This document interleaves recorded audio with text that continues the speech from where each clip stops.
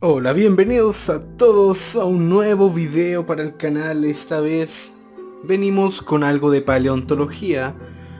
Así es, continuamos con el dinosaurio llamado Rayosauro o Griosaurus. Que en Instagram hice una encuesta para que contestaran y dijeran qué animal querían que fuera el siguiente para el video. Y sé que eligieron el Basilosaurus, pero ojo, este no es el video para esta semana, sino que es como un especial. ¿Entienden? Para así ponerlos en contexto de cómo van a tratar estos videos, a pesar de que ya hice un top 3 de dinosaurios que pronto haré otro.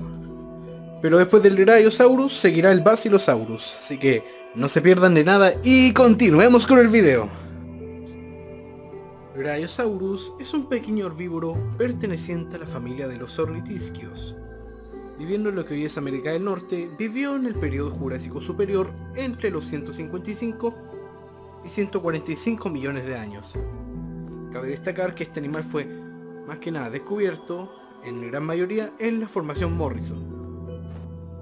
El Griosaurus tenía una longitud que rondaba entre los 2 y 4.3 metros, una altura que rondaba los 70 hasta los 140 centímetros. Cabe destacar que este dinosaurio tenía un peso que rondaba los 50 y se han encontrado espécimes que llegaron a pesar 120 kilogramos aproximadamente.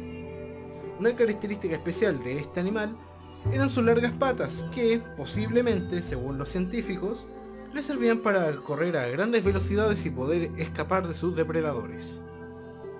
Brachiosaurus fue descubierto en el año de 1876, pero no fue hasta el año de 1894 cuando el March de los científicos que en primera instancia en 1878 lo clasificó como una especie de dinosaurio que ya existía, pero en el año 1894 él mismo fue quien lo reclasificó como un animal nuevo y, dándole, y así dándole su propio nombre. Y sin nada más que decir chicos y chicas, espectadores, eso fue todo por el video de hoy.